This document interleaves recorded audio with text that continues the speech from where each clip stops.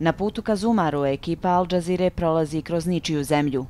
Nijedna strana ne kontrolira ovu cestu, ali tragovi borbi za protjerivanje Isila iz ovog područja očiti su. Oklopno vozilo pogođeno tokom zračnih udara, crne zastave naslikane na punktovima, grafiti na kojima piše vlasništvo Isila. A ovamo su se povukli. Duga zgrada, nekadašnja škola, sada je glavna baza Isila u Zumaru, ali mnogi borci kriju se i u kućama širom grada.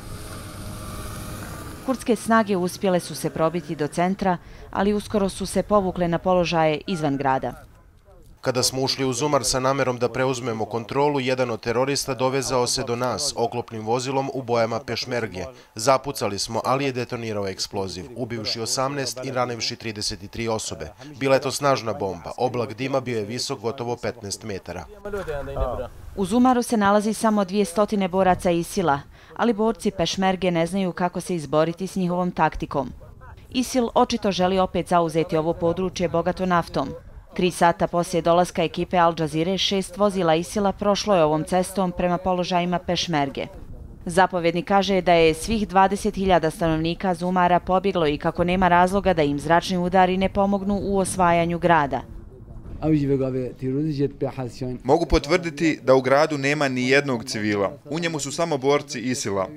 Tražimo od Amerikanaca da ponovo razmisle o svojoj strategiji i izvrše zračne udare na Zumar.